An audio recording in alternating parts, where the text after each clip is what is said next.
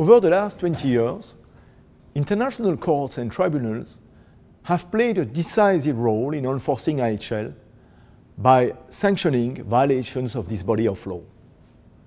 Indeed, at the end of the Cold War, and 50 years after the creation of the Nuremberg and Tokyo tribunals, the Security Council of the United Nations agreed to create ad hoc tribunals to prosecute and try persons responsible for mass atrocities committed in the armed conflict that had taken place in the former Yugoslavia and in Rwanda.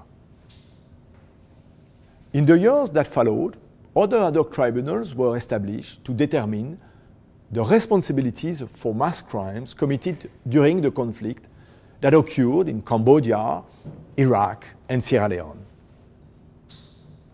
Several international organizations, including the United Nations, also helped create national institutions with strong international components to prosecute war crimes in countries such as in Kosovo or in Bosnia and Herzegovina.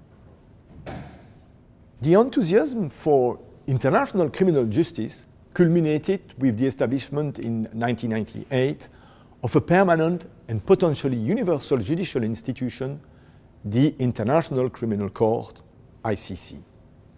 Since then, other international tribunals are in the process of being established to complement the work of the ICC for instance, in Central African Republic. The establishment and work of international courts and tribunals has had a decisive impact on IHL, particularly on the development of the notion of war crimes, that is, crimes committed in the context of armed conflicts. For instance, it was mainly through the work of international criminal tribunals that it was accepted that war crimes could be committed in non-international armed conflicts. The Geneva Conventions and Additional Protocol 1 had not recognized the applicability of war crimes to non-international armed conflicts.